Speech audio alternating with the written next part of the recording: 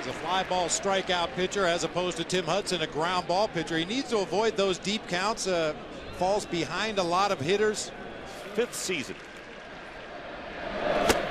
Took something off that pitch and Heyward goes down. That's the fifth time he has struck out so far in the series. Derrek Lee, the runner at first with two down.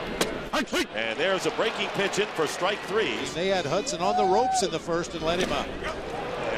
Swing and a miss, strike three. The tag put on for out number two.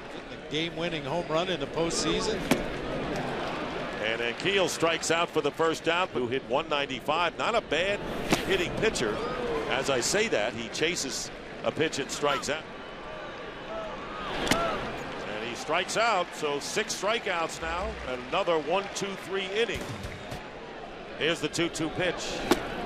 Striking out on a fastball up in the strike zone is Alex Gonzalez. That strikeout number seven for Jonathan Sanchez. Two out. Besting Derek Lowe. Check swing and strike three. So check swing and he went around for strike three. Hudson on at first base and Heyward chases and strikes out. But is a lot shorter. Again the 3-2 pitch and he strikes him out. That's three strikeouts in a row for Sanchez, 11 in the game and one out for the Braves in the seventh.